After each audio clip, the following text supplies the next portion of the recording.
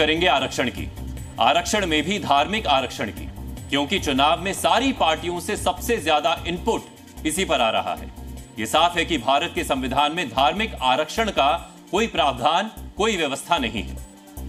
धार्मिक आरक्षण का मुद्दा दूसरे चरण के चुनाव से पहले कर्नाटक और तेलंगाना से उठा था और अब छठा चरण आते आते अपने पीक पर है। बंगाल में कलकत्ता हाईकोर्ट के फैसले ने इसे नया हाइप दे दिया है। धार्मिक आरक्षण के मुद्दे में कितना दम है? खुद मुसलमान इस बारे में क्या कहते हैं आपको बताएँगे।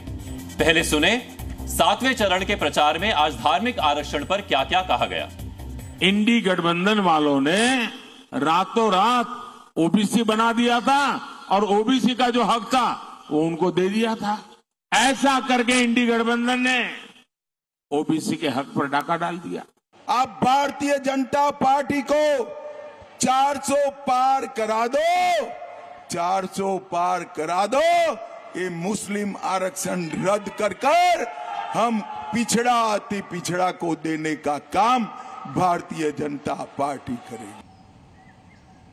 भारत का संविधान धर्म के आधार पर आरक्षण की अनुमति नहीं देता।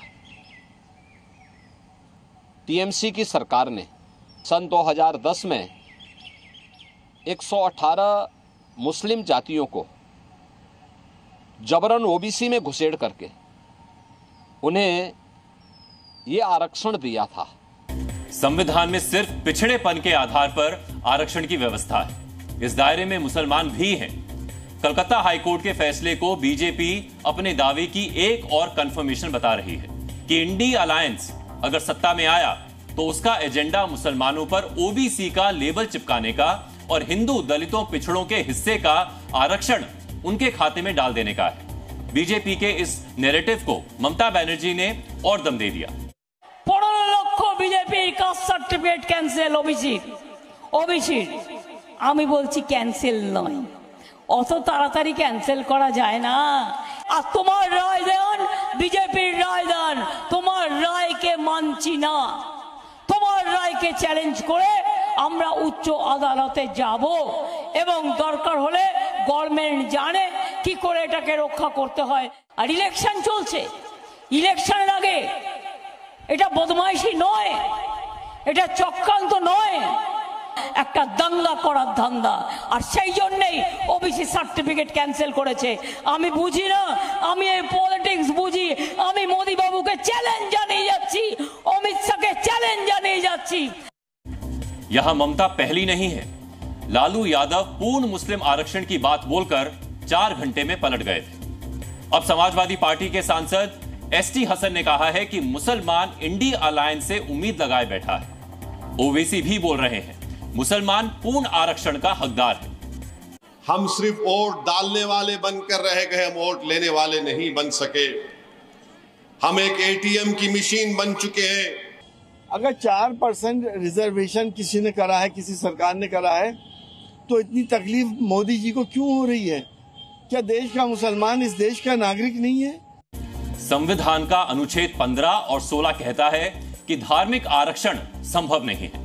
लेकिन यहाँ अंदेशा धर्म को जाति के लिफाफे में डालकर आरक्षण देने पर जा रहा है। जी न्यूज़ ने इस बारे में देश के मुसलमानों का मन भी टटोला है। आपको वो भी सुनना चाहिए। ये कहने की बात है कि नहीं देंगे ये सब राजनीति लेकिन मोदी जी आज तक के जो चलाते चलाए तो क्या दिक्कत मुसलमानों को हुई? कोई दिक्कत तो नहीं हुई? ये राजनीति है चला कर दी जब उनको दे रहे तो इनको भी देंगे। ये सब कहने की बात है। मेरे हिसाब से किसी को आरक्षण मिलना ही नहीं चाहिए। आरक्षण मिलना चाहिए तो आपकी फाइनेंशियल स्टेटस के अकॉर्डिंग मिलना चाहिए ना हिंदू ना मुस्लिम। भाई जो ज़रूरतमंद आदमी हो या जो नीडफुल हो उसको दिया जाना चाहिए जो भी सरकारी व्यवस्था हो उससे। मिलना दोनों को ही चाहिए। हाँ, मुसलमानों को भी और हिंदू को भी। लेकिन धर्म के आधार पर नहीं।